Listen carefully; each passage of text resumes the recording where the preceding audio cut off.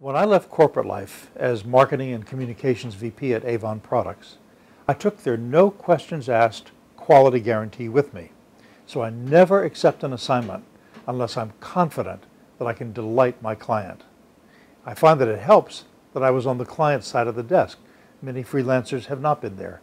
I've lived that life. This I know for sure. Any assignment I accept, I'm going to do my utmost to make you so glad you chose me.